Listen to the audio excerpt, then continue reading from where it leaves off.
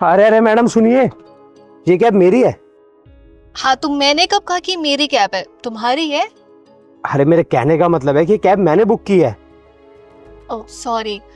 मैं ना लेट हो रही हूँ तो मैं क्या इस कैब में जा सकती हूँ? देखिए मैडम एक काम करते हैं। पहले ड्राइवर मेरे को मेरी लोकेशन पे ड्रॉप कर देगा उसके बाद आपको आपकी लोकेशन पे छोड़ देगा। अ, नहीं नहीं।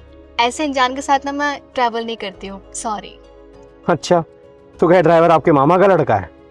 नहीं क्यों? तो फिर तुम क्या इसके साथ अकेली जाओगी क्या? मैं जाऊँगी इसके साथ। इससे तुम्हें क्या लेना देना?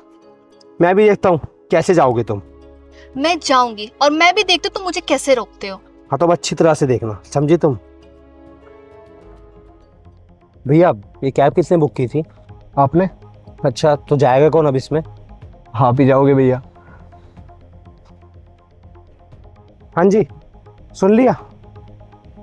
बदतमीज। आराम से मैडम थोड़ा। ये इस लड़की का फ़ोन तो इधर ही रह गया। भैया अब एक मिनट रोकना मैं बस अभी आया। अरे मैडम सुनिए। वो सुनिए। ओ तो अब तुम मेरा पीछा कर रहे हो। एक मिनट। ना मुझे ऐसी वैसी लड़की तो नहीं समझा है ना?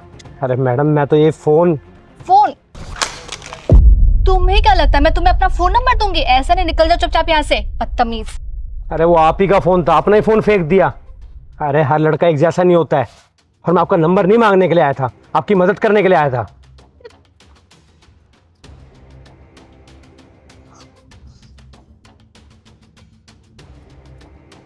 भैया।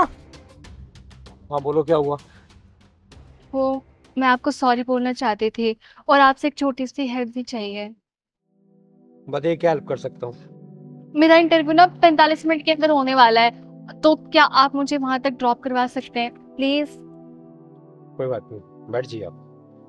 थैंक यू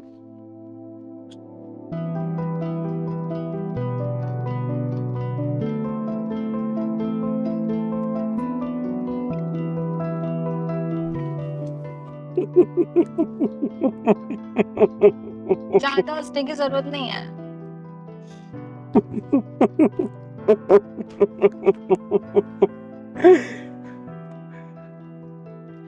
अब बस भी ना प्लीज़ अच्छा ठीक है सॉरी